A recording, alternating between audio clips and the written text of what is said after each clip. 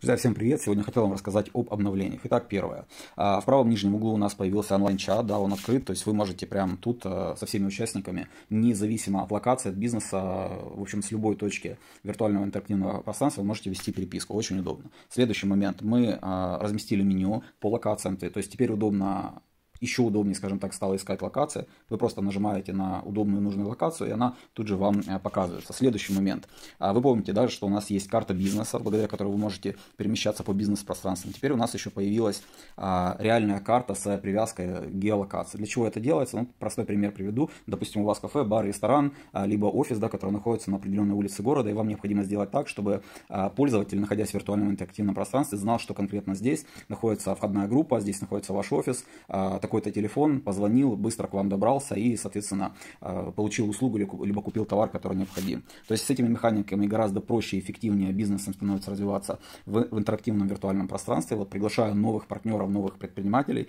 пишите в личку, обязательно добавим ваш бизнес в виртуальное, виртуальное интерактивное пространство NFT Moon Metaverse.